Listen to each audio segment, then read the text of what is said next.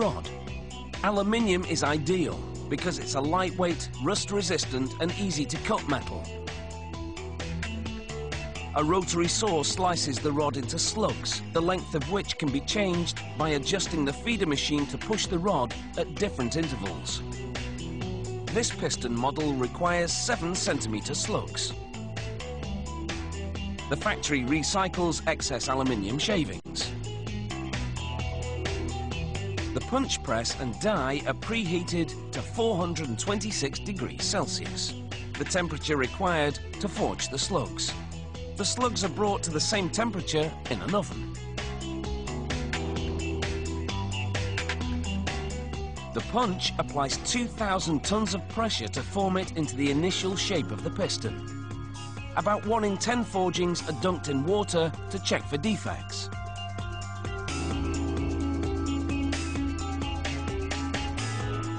To make forging easier, they pre-lubricate the slugs before heating them. That's why the slug flames up when struck by the press. It only takes two seconds for the press to do its job. But the forgings are so hot, they need at least an hour to cool before the next step. Workers heat the forgings twice more. The first time at a very high heat to strengthen the metal. The second time at a lower heat to stabilize it.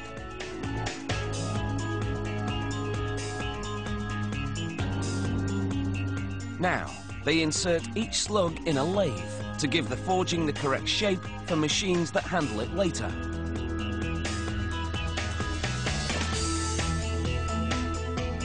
These small holes allow oil to flow through to lubricate the piston when it's in use. Another lathe reduces the diameter by 3 millimeters. The same machine then cuts three grooves, two for compression rings and another for an oil control ring.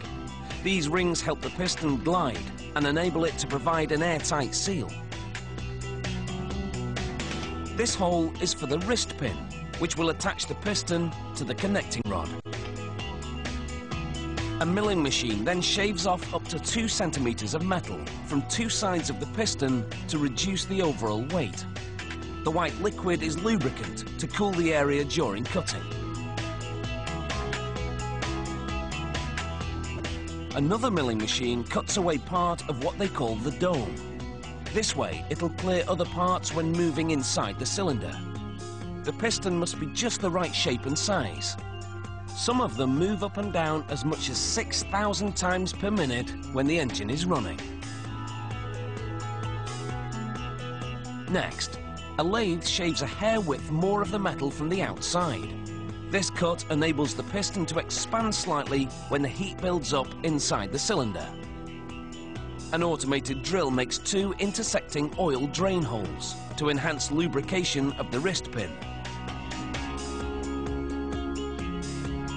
Another machine now engraves model and production data.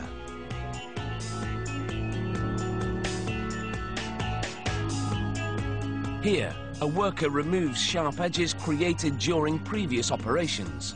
He then uses a belt sander to further smooth out the surface. Sharp edges could damage the cylinder walls. This cutting machine shaves off a bit of metal inside the pinhole, so the wrist pin will fit snugly inside. Once the cutting's complete, high-pressure jets spray the pistons with hot deionized water. This cleaning removes all traces of lubricant and oil.